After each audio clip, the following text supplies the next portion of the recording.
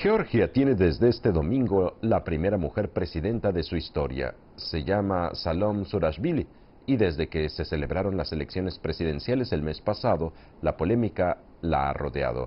El partido de la oposición rechazó aceptar los resultados electorales, denunciando que se había producido compra de votos, intimidación e irregularidades en las urnas.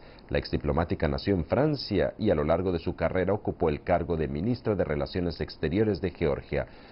Billy es además la última presidenta del país elegida directamente, dado que el país ha iniciado ya su transición a un sistema parlamentario.